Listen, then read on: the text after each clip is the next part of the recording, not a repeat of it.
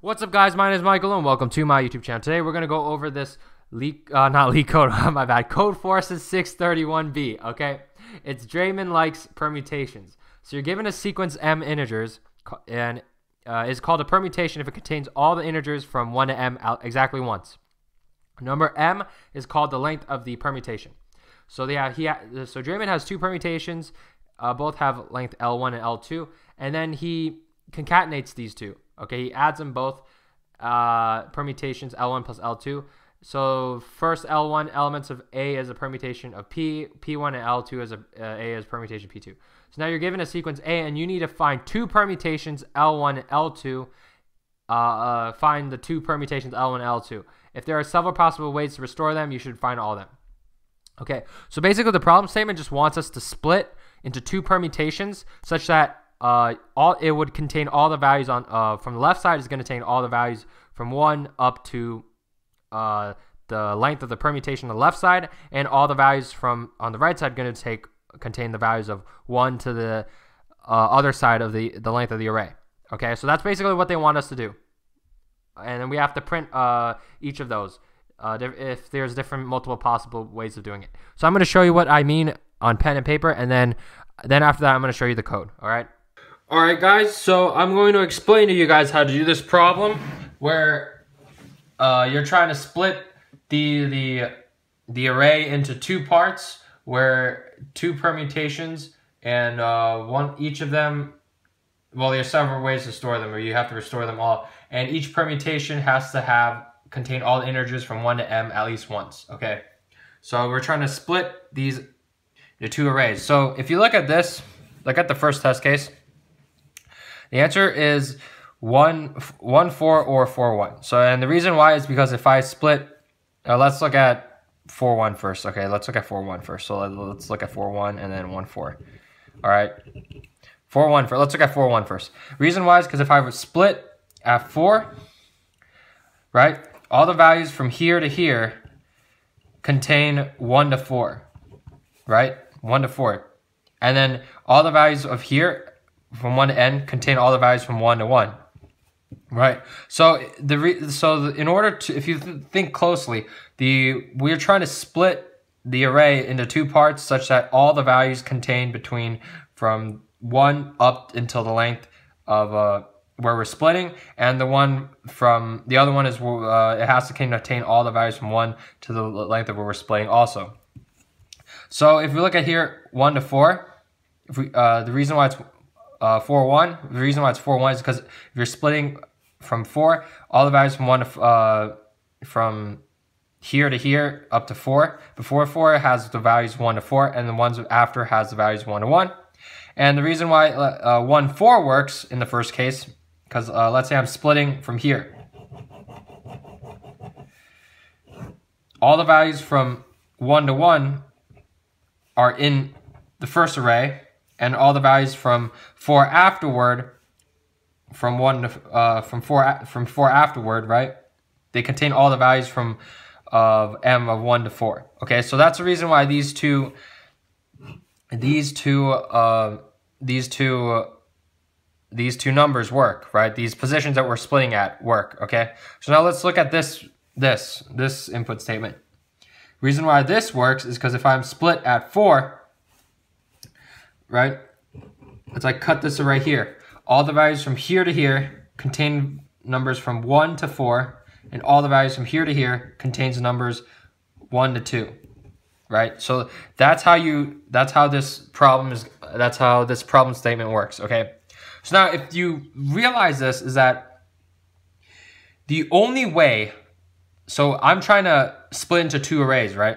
The only way this could possibly work is if at least one of them is going to be the maximum, right? The maximum, right? If I were to go through uh, the, the first array, right? If I were to go through all the values in this array, let's say I go through all the values here in this array, and I'm going to split at some, some position, right? We have to know is that it has to contain all the values from 1 up to the maximum number, okay? That's the only way this could possibly work for any of these arrays, right? If it doesn't contain 1 up to the maximum number, it probably it can't work. It absolutely cannot work. Okay. So if you look at this here, here, this is the maximum number four, right? You're we are able to split this from the numbers from one to four at position four is because all the values from here to here contain up from one to the maximum, which is four. Okay, so that's how this this array works. That's how this algorithm works. It has to either from the left left side has to contain all the values from 1 to the maximum, and the and let's look at the right side. The right side has to contain all the values from 1 to the uh, so left side contains all the values from 1 to the maximum, right? So here, this is the maximum. Let's let's say this is the maximum. The right side has to contain for n minus the maximum. Okay, so it's the leftover values. That's the reason why it has to contain it.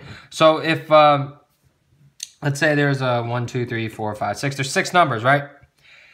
The left side has to contain all the values from 1 to the maximum, which is a 4, 1 to 4. Then the right side, what is 6 minus 4? 6 minus 4 is 2. So the right side has to contain all the values from 1 to 2.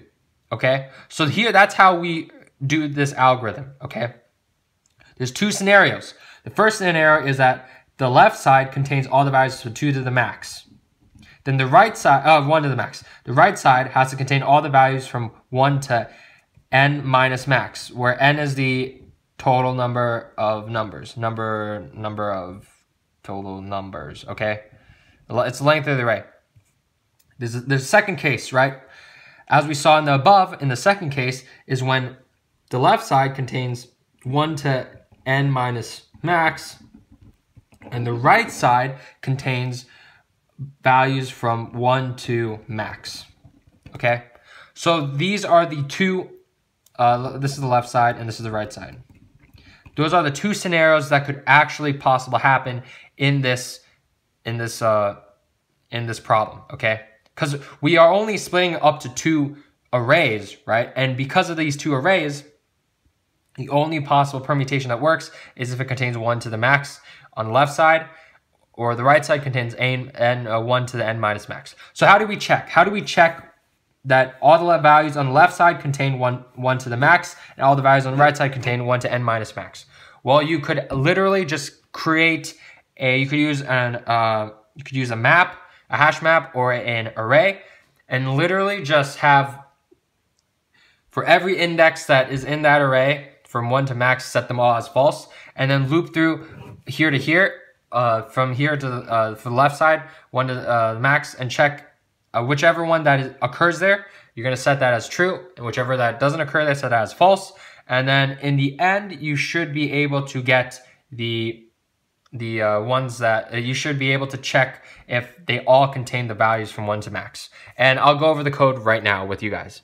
All right, guys, so I'm going to explain the code now, how the code works to you guys. Okay, so first of all, what did I do first? Um, for, first of all, I had to read in the test cases QT, and uh, of course you have to read in the test cases T. Then I had to read in the, the length of the array to read in the values of the length of the array, and yeah, I had to do that. I had to create my array, and what do I use? I use a set, and the reason why I use a set is just, is just to avoid duplicate values. Okay, uh, I don't think it really matters if you use a set or not, but I did it use a set. I used a set, and then I used a pair to add the two lengths the two lengths that we have to have, okay? The two lengths that we have to have. So this set is going to contain uh, two of the pairs, which is like going to be, this set is going to have all the values of the two pairs that are going to have the left side, length of the left side, and the length of the right side, okay? So that's what this set is going to contain. I'm going to have a value of max number. So what did I do? First, I read in all my um, all the values in my of the array first, because that's well you had to do that. Like there's no other way to do that, right? Then I had to get the maximum number. So I got the maximum number by calling uh, the max function, and I get uh, compare every single element uh, of um, that I'm reading in with this max number. So I got get the max the the maximum possible number from the array, the max number, the array, and then I had to pass it in. Okay, so I passed in the max number into this function, and then I'm gonna pass in um, the array. Okay, uh, I didn't really have to do that this to pass in the array. You probably could make the array a global variable, but I had I did that anyway just cuz. All right, so once I pass in the, the number and then the array, what I do? I had to first create a map to check the first part. So for that, I kept track the number of occurrences of every single number uh, in the first part, right? From one to uh, one to the maximum number, right? So I had to do that. So here first, uh, I kept track of the. I went through. I looped through the array again, and then I kept track of the uh, every single number of occurrences. Okay, that's what I did. Then after that, I uh, looped through from yeah, yeah, wait, my bad, my bad, my bad. Okay, so here, this array, this for loop loops from zero up to the maximum number, right? Like the maximum number we that we got on the first part in before. We got the maximum number of the the total max number of the array, right? The maximum value, the total max value of the array. So I looped from zero to the total max value of the array, which is that position of the maximal value that we're splitting at. And then I count the number of occurrences of that of each value. I count the number of occurrences of each value. After that, I loop from 1 to the maximum number of array again, and I have to check that I have seen every of them. I had to see every single value once, okay? So if I saw 0, if I saw 0 values, right, I return false, okay? I had to see it at just once. I had to see it once, okay? All right. Then then after that, I had to check the rest of the array. I have to check the rest rest of the the rest of the array. Okay, so the rest of the array, I had to I created a separate map which uh, checks the number counts the number of occurrences from after from that position after to the right side that I'm splitting right, and to the right side I just kept track of the number of occurrences by doing a check second part plus plus okay of DOI plus plus okay.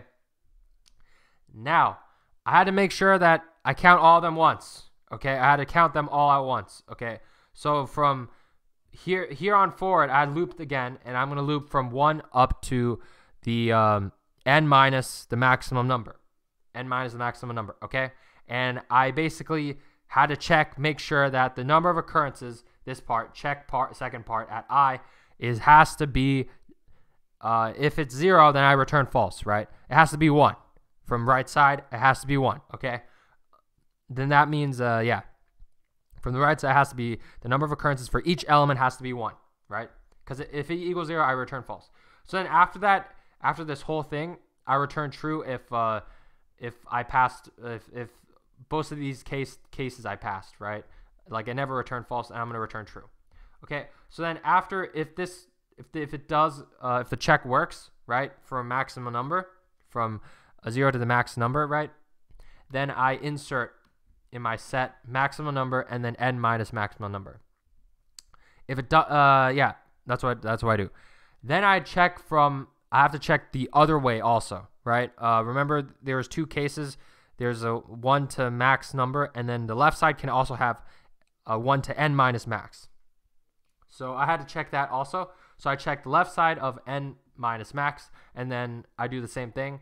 Uh, if it works, then I'm gonna uh, do n minus maximum number, I, I add n minus maximum number for the left side for the left pair, and then the right side, I'm going to do add maximum number, okay? Then after that, I just print out the size of my set, and then I go through every single pair, and I print them out. And yeah, that's what I did to get accepted. So that's how you do this problem. Um, you could you there's multiple ways you could do it. You instead of using a map, I use the map. You probably could use a simple array and just like making sure all the values are zero or one, right? You could use a I don't know. You could use a bit set actually. You could you could technically use a bit set. All right. Uh, you you just have to make sure that it, that where you're splitting has to contain all the values from one up to that, for one up to that number, right? For the left side and, and the right side. So yeah, that's all you have to do for this problem. Rate, comment, subscribe. I hope you guys understand this problem. I hope I explained it to you guys. And yeah, I'll check you guys later. Peace.